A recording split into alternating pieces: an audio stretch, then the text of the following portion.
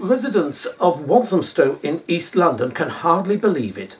Developers want to build tower blocks up to 29 stories high, right slap bang in the middle of the town centre. Up to a third of the space in the town square and in the gardens could be lost to make way for tower blocks, providing something like uh, 500 flats. Uh, there's great concern uh, that this could dominate uh, the town centre and there is a campaign by local residents uh, to make sure uh, that everyone is in contact with the London Borough of Waltham Forest. Now, David Gardiner and Jean Duggleby are two of those who are most concerned uh, by this new development. David Gardiner, why do you say then that this development would completely overwhelm Walthamstow? Well, the centre of Walthamstow has a character. It's a, quite a wide open space. There's an open horizon. You can stand outside the bus station or anywhere around the town square, look around 360 degrees. There's very little blocking you. It's a nice wide open space. That's the character of the town centre. If you were to put a 29 storey block, which would actually be due south of most of the town centre, you would simply lose the sky, you would get a massive shadow across the grass where people sunbathe. It would totally change the character of the place in the direction of, say, Stratford. Uh, there's already a shopping mall there, but it's a very low building. It doesn't interfere with the general appearance of the place. Jean Duggleby, do we know exactly what the developers are proposing? What, what exactly is afoot? Well, they're uh, proposing four um, blocks of flats, including two very high, 29 storey, as David said. They also intend to take away a third of the grass and half the trees. And we have very little grassy space in central Walthamstow. It's very well used by children. On a sunny day it's packed. Um, people finish their shopping and relax there. It will be terrible to lose that grassy space. Well, David, would this be then what some people say might be a land grab of that open space that Jean has just described. Well, undoubtedly, there's no other words you could use to describe it. I think it would. We would lose a third of our town square, which is public open space. There are, of course, shops surrounding it, but we're talking about open space, and it doesn't remain open space if you build on it. And they want to extend the existing shopping mall out into what's now the open space, quite simply, including the children's playground and the plan seems to be to move that in the direction of the bus station, where, of course, diesel buses sit there with their engines idling all the time. It'd be the worst possible place to site a children's uh, playground. Uh, but Jean Duggleby, we've heard the case against the loss of the open space. What about the case for new housing? There is a desperate shortage, isn't there, for new housing, and this does seem to be um, a response by the developers in conjunction with Waltham Forest Council to up the number of homes that might be available. Well, that's true, but if you walk around the rest of Walthamstow, there is housing developments going on everywhere. Maybe not so high. There's loft conversions, extensions. They are packing so many people into the area already. Um, there's hardly room on the pavement for people sometimes, and the trains are packed. The, the infrastructure cannot cope with anymore.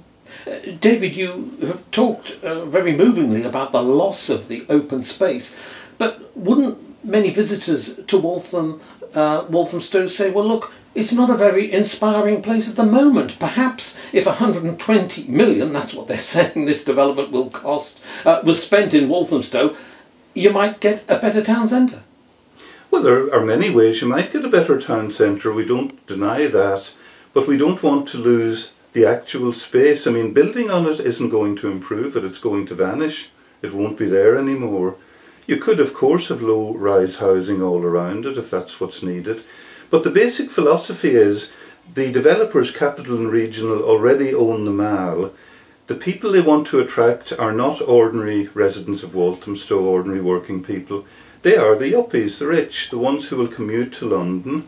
They'll have no children because there'll be no facilities for children the flats will be incredibly expensive, astronomically expensive, and that's the, the, the, groups that they're aiming at. They're even going to have a little private tunnel so they can get to the, uh, the, the railway station without being contaminated by the people of Walthamstow. So far from helping the housing situation, it just occupies space that might conceivably be used for social housing. So the thought that this would then provide affordable homes is something you would question, would you? Complete nonsense, I think. If the average price, which we've, this is rumour obviously, we can't confirm it, is 400,000, affordable means 80% of that, that's 320,000 for the smallest unit, which presumably be a one bedroom, for a one bedroom flat in Walthamstow. People who need it because there's a good link to the city and to the centre, commercial centre of London. Well, these yuppies, they're presumably younger and fitter than most of us. Let them live a few hundred yards away from the station where we don't see them. You know, why should they dominate the whole skyline of Walthamstow and totally change the character of the centre? Well, Jean Duggleby, you clearly feel very strongly about this. What would you like local residents to do? You've got uh, just a matter of weeks in which to lodge comments with uh, Waltham Forest Council. Well, we're going to give the um, addresses of websites later on. Um, they can write to the council. Many people have already.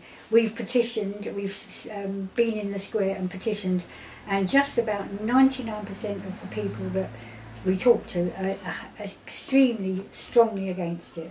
And your advice, David? What would you advise people to do then who might be concerned about this? Well, the most practical thing and quickest thing is really to communicate directly with the council. Uh, it's a bit complicated there. There is a web page that you can use, there's an email address. The quickest and easiest thing would be if you have a look at our Facebook page, which is called Save Walthamstow's Town Centre. We can give you all the details of how to make your views known there. So you would both say, would you, that uh, this is a campaign that uh, you, you feel determined about and that has to be fought? I Yes. very much so, yes. And, and the majority of the public, when you talk to them, are, are, are very much against it. In fact, most people don't know what's happening. That's the tragedy. And as soon as they realise what is happening and what it really involves, they're almost universally on our side. Mm. But look, there have been weeks of consultation already on this, and there have been revisions to the plans. Surely the developers and the planners seem to be going out of their way um, to uh, allow the widest possible consultation. Well, both of us went to both consultations. Uh, There were two, I think, spaced by about a year. And really, they were a total farce. The only thing that was discussed was landscaping. What kind of tiling would you like? What kind of street lights would you like? And there was no uh, reference to housing whatsoever in the Jean consultation. Duggleby, have the developers themselves been responsible, responsive? Because, of course, Capital and Regional are already landowners and property owners within the borough. Well, like David said, it, uh, it it seems very biased.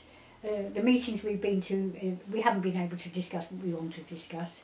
The question is, if anyone knows, is um, very narrow. You can't really say what you think. We also have had some meetings with the councillors, and it's pretty obvious that um, they kind of made up their mind already. So, But you both clearly believe this is a fight that's worth fighting. yeah. I think so. I mean, we don't necessarily lose. They wanted an 18 story block on top of what's now the cinema, the Empire Cinema at the corner, top of Hoe Street, corner with the High Street, and that had to be reduced to six stories in response to public pressure. So I think we can win.